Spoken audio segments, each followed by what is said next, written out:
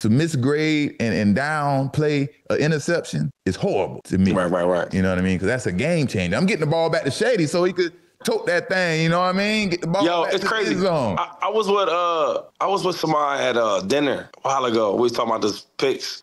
He, D was perfect who it was exactly though, but he was saying like uh, we we started talking about Travis Hunter about his ball skills and I was like, yo, he got some of the best ball skills I've ever seen at a young age like that. Like I watch him go at the highest point on offense to make them catches. I, I watch guys grabbing them contestedly and still catching balls from playing all the years from doing it and then watch other wide receivers. That's hard to do. And, uh, and then and on defense, he, he catch the ball like he wide out. And I was saying, I forget who the dude was. He was like, yo, Asante's ball skills is one of the best. So look, we was watching some old tape and you caught, I forget who was playing the, I think the Falcons. You caught a, a, a play in the middle diving, you know what I'm saying? And then tucked it away. Like that was Oh. crazy. Yeah, that that play. I remember that play. I was sticking Julio Jones. He was a rookie, and Matt Ryan kind of overthrew it a little bit. So I had to. The ball was going towards the ground, so I had to put one hand under it, and it was my hand was barely missing the ground, and scoop it, and I had to turn and curl, and then broke my finger on it. But like you said, the ball skills are crazy because making those type of plays is is very hard, man. It's very hard. I, I do I do think that the cornerback skill set today is better than back then. Cause like yeah, they be catching some crazy passes though, and I feel like everybody back then had you know they say you played D back because you was a wide receiver that couldn't catch. right, right.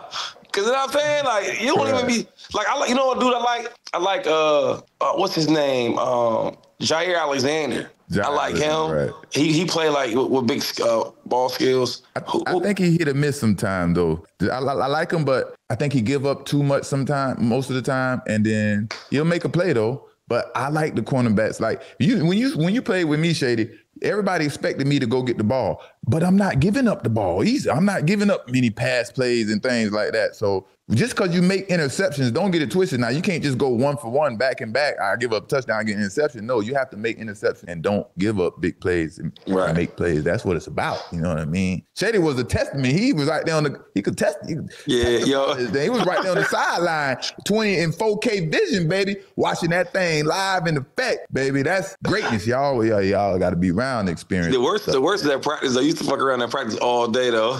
That's that's that's where when I do it in practice, it makes the game easy because I'm I'm around here challenging everybody, and I know they're gonna want to attack me. And it's Yeah. like you say, tell them about tell them tell. I don't I don't even know this. I never talked to Shady about this. I, are you in the offensive uh, game planning room with the receivers and quarterbacks, or like when y'all game planning and stuff? Nah, we would do uh oh well yeah yeah yeah yeah yeah yeah. So like, I, yeah. I can Like- tell, and, and I Marty, you let me know. Oh, I remember that, Marty. Yeah. Yeah, Yo, so he used to say, he used to say, uh, if, they, if we finna go out and do one on ones pass skills, he'd be like, "All right, we got something for Sunday ass today." yeah, yeah. And it's like you're planning to try to beat me in practice, but we play the New York Jets, the New York Right. Giants on Sunday. How? That's how mental. That's how much I was in their head mentally. You know what I mean? By me. Yeah, talking nah, Marty would say that. He was like- bulls out on my back. You know what I mean? Or- that's or- what made me better, honestly, because I had to go play. I had to go work hard every day because as soon as I step on the field, I'm talking that cash money. So for the viewers out there, so Marty's the office coordinator. So we would have like a install, like to go over the plays for practice that's gonna go in the game. So like the game plan.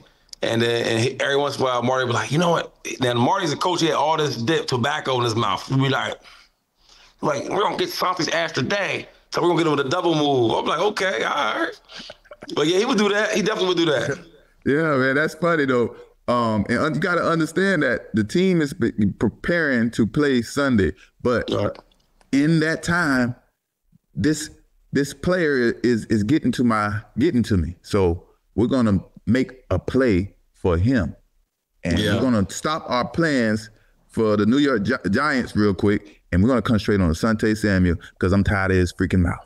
And that's what it was about, man. It was fun, but we had fun doing it, man. It was no hard feelings, and um, yeah, we used to go to war. I ain't never, I ain't never played nobody else when I left. When you left, that was like uh, that talk trash like that, Yeah, like like in practice and get everybody motivated like that. I ain't never. You know what's crazy? I started taking on that role, which is crazy. Yo, yo, what's is crazy is I probably wasn't as wild as you, but when you left.